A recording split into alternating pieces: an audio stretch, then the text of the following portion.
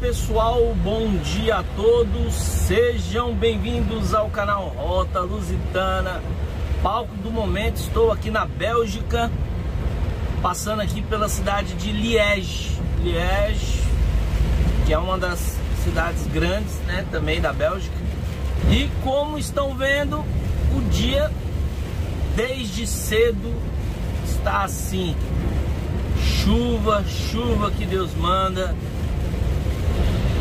muita chuva mesmo, né? Mas não tá muito frio. A temperatura até que está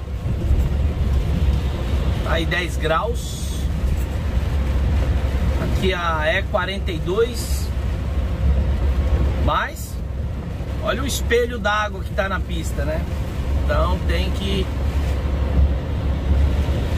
um dia como esse tem que ser na com muita cautela, baixas velocidades, porque senão é, é perigoso.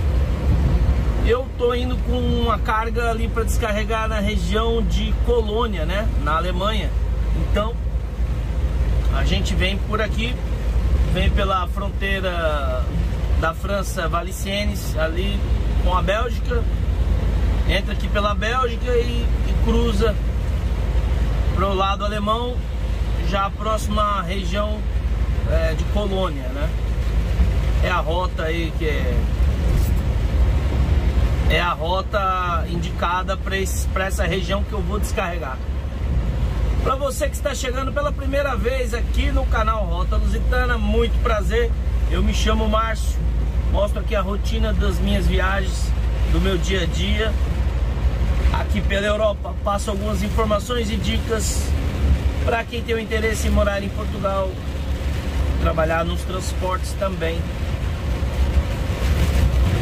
Desde ontem peguei um pouco de chuva, né? Na França tava tava chovendo, mas mais fraco. Tava era era garoa, né? Mas agora aqui hoje de manhã eu já dormi ali na fronteira, França com a Bélgica. Do lado aqui da Bélgica tá chovendo muito mesmo. Agora engrossou de vez. Agora sim, agora é pau de dar em doido. Agora engrossou. E tá. Tá caindo água com flocos uns floquinhos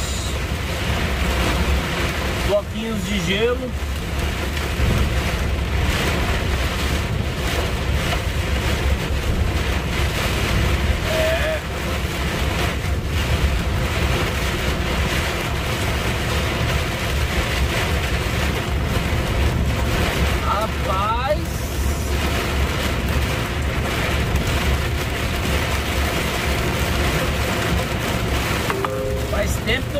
chuva assim.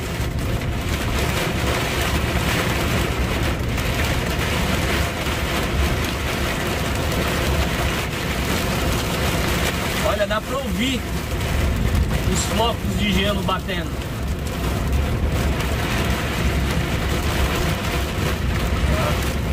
Eu não estou pesado, estou com a carga bem leve. Para ir uns 10, 10 mil só, 10 toneladas. E mais dias de chuva como, como esse tem um lado perigoso de andar pesado, mas andar muito leve também é um pouco perigoso. Porque muito leve, dependendo, você corre o risco de escorregar, né?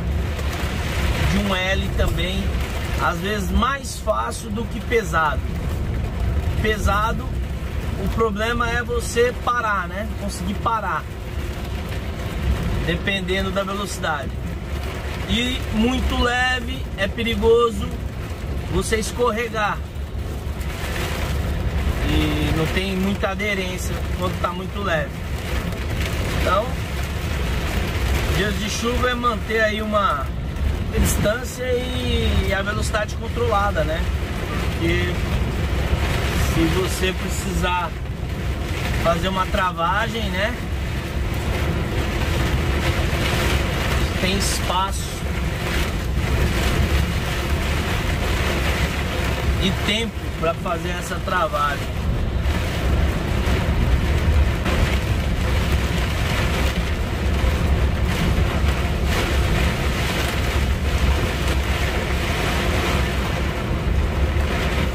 tá grande de veículo, né? Também tá passando pela região da, da metropolitana da cidade, né? Olha as balsas aqui no aqui estão passando por uma ponte com o rio. O nível da água tá alto.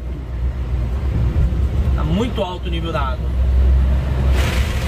Aí, ó, o pessoal pensa que na Europa não chove. não chove forte, aliás, né? Porque chover chove, chove muito. Mas é, não chove com a intensidade, né? Com força, como chove em países tropicais, assim como o Brasil, né? Então é uma é uma chuva, são chuvas mais brandas, né? A chuvinha mais mais fraca. Uma quinta simples. Um veículo, uma viatura. Simples, será que vou ter força? Começou a subir aqui. Baixei uma Baixei uma quinta reduzida, passar meu coleguinha aqui meu colega tá mais pesado.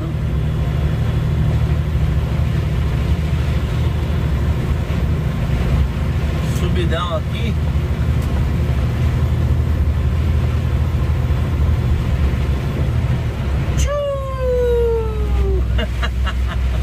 Olha o escapamento que pia aí. Tchuu!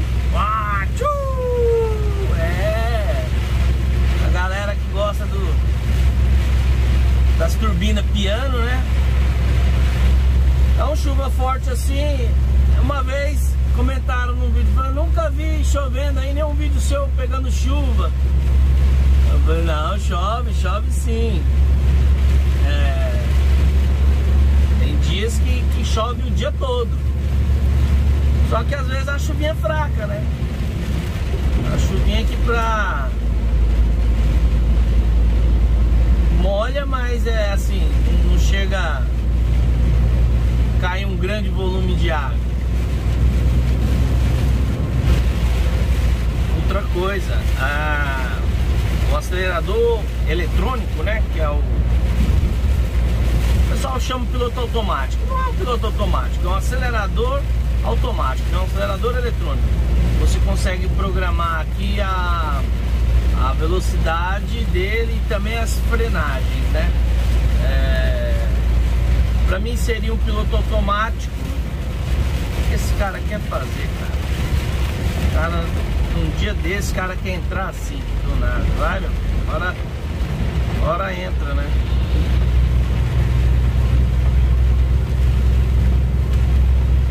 Então, o que acontece? É, o acelerador eletrônico programa aqui ele 90 por hora, que é o limite da pista, por exemplo. O acelerador ele fica acelerando ali, ele fica empurrando, né? Ele fica empurrando o caminhão a 90 por hora. Imagina que você, né, na pista, uma pista como essa, chovendo forte, né? E tem umas leves curvas para esquerda ou para direita.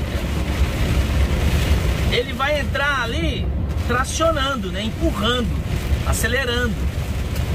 Sendo que era um, por exemplo, na hora da curva, chovendo e molhado, você nem deve frear, você deve ir diminuir a, a velocidade, tirando o pé do acelerador, não travando, né?